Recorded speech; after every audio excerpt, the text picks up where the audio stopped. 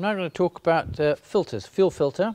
There's one in the carburettor here, under this, under behind this nut here, and in this particular car, there's an aftermarket filter fitted between the, the fuel pump and the carburettor.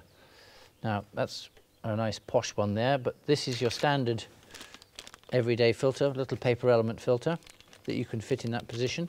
Or you can fit it before the pump, which is in fact a better position because then any stuff that's coming from the tank will get trapped in the filter before it gets to the fuel pump and therefore the, the valves in the fuel pump won't get damaged.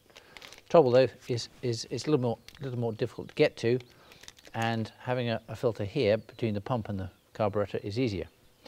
So you need a 21 mil spanner for this nut here, which is the same size as a spark plug.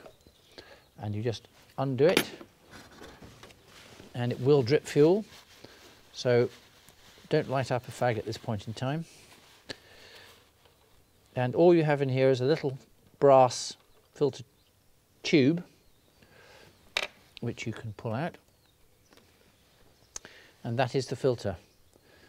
They don't normally get dirty, particularly in a car that already has another filter. This has got a little bit of crud on it. And you need to clean it is just by blowing through it. And that is cleaned. That's fine. The housing's clean. Put it back in and do the nut up. Now it doesn't have to be very tight, but of course you don't want it undoing.